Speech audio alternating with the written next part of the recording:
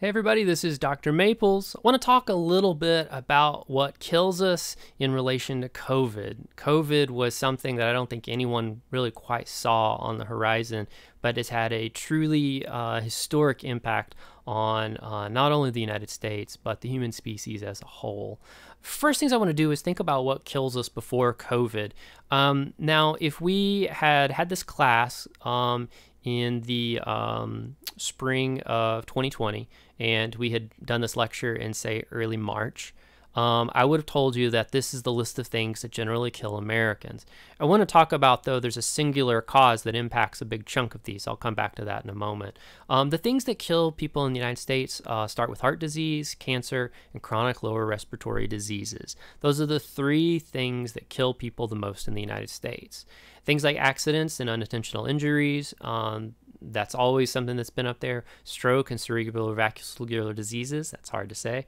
Um, Alzheimer's, diabetes, influenza, nephritis, which is kidneys, uh, and suicide are the things that round out our top 10. But look through that list. Do you maybe see how there might be a singular cause that overlaps with all of those? Do you see it? It's there. How many of these link back to smoking cigarettes?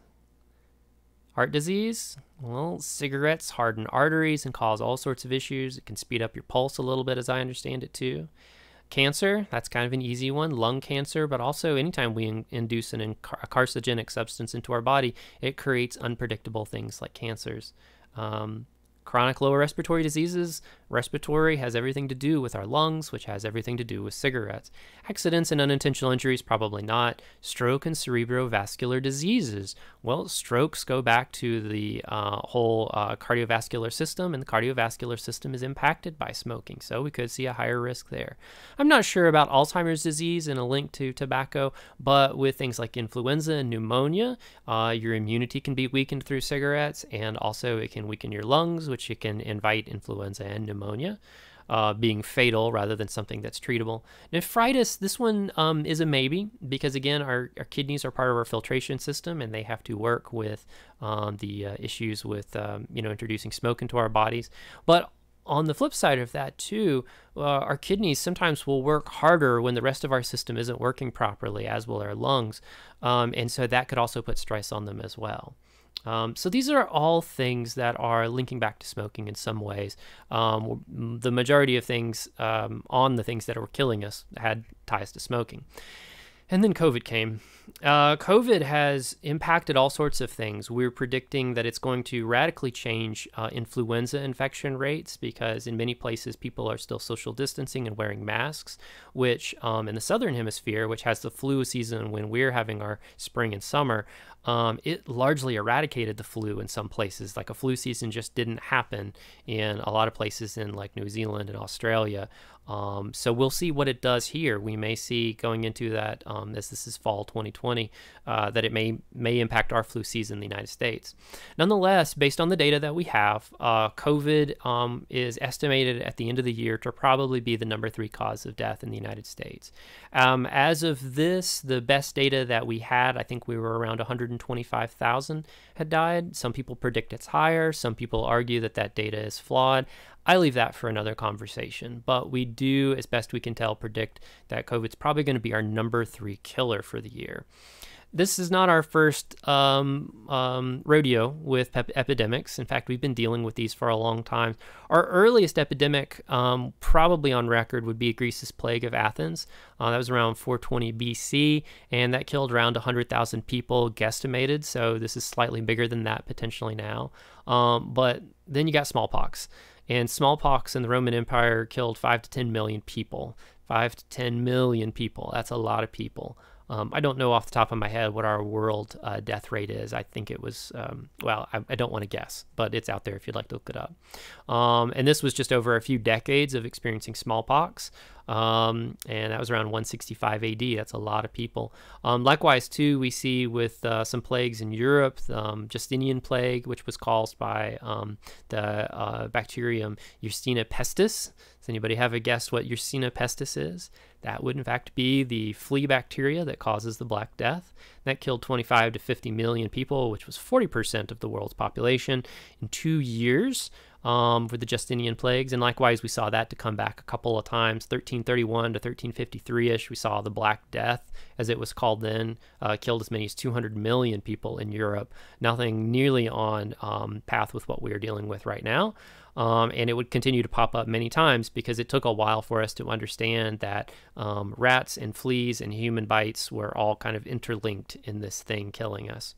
The American colonies experienced a lot of epidemics. Um, there's some really um, horrible stories. In fact, if you go through U.S. history in terms of looking at uh, the colonial military and the early colonies, I mean, people would move into swamps because they didn't understand malaria and they would be wiped out. Um, likewise, things like measles, smallpox, and influenza would routinely go through um, colonial areas, through uh, military battalions, because they just didn't understand how it was being spread and it would kill people. Not to mention what it did to uh, indigenous people in the United States who were exposed to these diseases for the first time, and many of them had zero immunity, and so it eradicated. Um, a wide swath of people who were indigenous, which was a tragic thing um, that is often overlooked in American history. And I think that's something that we should think more about uh, indigenous rights. Nonetheless, uh, more recently, we had Ebola, influenza still an issue. Remember Zika in your lifetime, as Ebola was also in your lifetime. These are all things that have popped up occasionally um, and killed tens of thousands of people across the planet, but haven't really had nearly the risk of what we're dealing with now. By the way, if you want to see the full list of epidemics, I put a link in there about Wikipedia's list, and I think Wikipedia is awesome. You should make a donation to them if you can afford it. Now, with COVID, it's kind of the newest thing in my 40 something years of living um, that we've had anything like this. We've had a couple of experiences. There were concerns over the Zika virus, over Ebola. Um, I believe that we had a similar thing with um, uh, SARS when I was in my early 20s, but none of them were anything remotely similar to this. Um, this was a highly infectious disease that we were dealing with with COVID, and we still are trying to understand what it is and where it came from. Um, some of the best guess, uh, guesses are that it appeared, um, this was as of September 20, 2020, by the way. Some of the best guesses that we have on the data were that COVID appeared in Wuhan, China in 2019, perhaps late in the year. We're still trying to pinpoint that. Um, it is part of a family that we've seen and known about for a very long time. Um, it's part of a family of viruses that includes colds, SARS, and MERS. The latter two were uh, minor epidemics in recent years. Um, and the big thing about this is these infect mammals and birds. So it's very possible for them to cross um, uh, over into different mammals and into different avian species. So that can be a thing. Um, in fact, we're seeing uh, mink populations at mink farms being impacted by um, uh, COVID. We're seeing uh, issues with dogs catching it, uh, just all sorts of random things that are kind of unexpected. Um, so it is something that's that's happening now. This particular family of viruses first popped up in the 1960s. It was probably there before, but that's when we discovered it um, as being a thing. And it started with a bronchitis uh, infection in a chicken farm, and that continues to go back to one of the traits uh, that really seems to define this field is that it goes after the lungs in very different, very scary ways. Um, and once it gets in there, if the lungs don't function, then people are dying. It's very frightening. Um, the corona name actually comes from the appearance of the virus. If you look at the pictures of it, which I'm sure you have seen at this point, um, they kind of look like a crown, and corona means crown in Latin, and it really describes what the, the virus kind of looks like. Um, we're still figuring out how this all works, and I'm not a doctor. Um, but as best as I understand it, reading experts, um, this is a virus that invades our body using a spike protein uh, that attaches to some of our cells. And then from there, it's really cool that it enters the cell and it replicates itself. Um, that actually sounds very similar in some ways to HIV, which we'll talk about later in this lecture series coronavirus has been an extraordinary change in um, how our society functions. It's interesting, too, that the discussion of masks has also been something that's become a very socialized thing. In fact, we have seen um, people take very different stances on mask use based on um, their political beliefs, their religious beliefs, uh, their cultural beliefs, and so forth. It's been really, really interesting to see those things um, play out. So, COVID has given us a very interesting sociological experience. It's interesting too because there's some ongoing un, unclearness in terms of how age impacts um, this virus. You know, the best early data that we have at this point, and again, this is only October 2020, um, is that the um, age populations that are tend to be older are getting impacted more. Um, but we don't exactly understand why. There was an original belief that maybe only the older populations were catching it, but then we started finding out that tons of kids were testing positive and that they uh, were spreaders, but not necessarily showing any symptoms. Um, and that seems to be that the death rates have been heavily skewed towards an older population.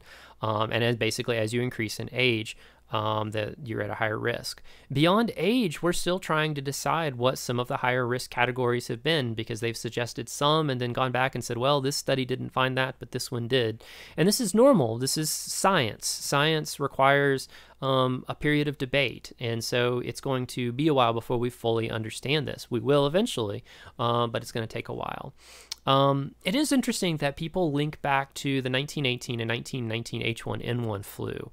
Um, there was a long-standing myth that the H1N1 flu um, targeted only young people uh, because that's where we saw the deaths most notably. But that actually was an interesting um, result of that period of time and what was happening because what was going on in 1918 and 1919 oh, that's right, we had a world war going on. And what would young persons have been doing at the time? Well, a whole bunch of them were signed up in the military. In male or female, a lot of people were working in support aspects of the military. As such, those military camps were rife for having an epidemic come in, and as many times we've seen in the past, military forces just getting destroyed by a virus. And that's actually what happened. The H1N1 got in there, and people were dying very rapidly. Um, they weren't necessarily getting rapid care, but they were just, they'd get sick, they would die, and that was just it. Um, really what we found that this was maybe different from what's going on with coronavirus because it was just a coincidence that a lot of these troops in the World War One period were getting exposed to H1N1 and dying because they were in very close confines and they didn't really necessarily think about things like washing hands or wearing masks or whatever they might have done to limit that. Um, but now with COVID, it does seem to be different. We do seem that there appears to be uh, data impacting, um, shaping the idea that people who are older are just at a higher risk we don't know what this all means yet. This is still so early, early, and I, I can't uh, stress that enough that we're still trying to understand um, how things are going with COVID and what this means for the future. But I did want to record this, document this, and share as much as I can. Um, what I do encourage you to do, those of you who are college students on campus, make sure to follow EKU's COVID policy that you're experiencing that and uh, follow their policies on campus um, and uh, you know follow your heart and do what's right to protect yourself as you think you need to. Um, I'm not here to tell you how to do that. You have to figure that out on your own. Nonetheless, I did want to at least summarize what data that we had about COVID thus far. If you have questions about it, you're always welcome to write me. I may or may not be able to answer your question, but I can try and find an answer to it. And frankly, if you have a question, I might have the same question and need to look it up anyways. Um, but that'll wrap us up for here, our mini lecture on COVID. In our next lecture, we're going to start talking about something we call culture bound syndromes. And this is where we see how, strangely enough, certain cultures will experience a particular disease while others don't. We need to make sense of that. Two, this will also give us a chance to start thinking about how something like HIV has impacted our uh, nation and, well, entire human species uh, in the coming lectures as well. So, if you have questions, you know where to find me. Otherwise, I will see you in the next lecture. Take care.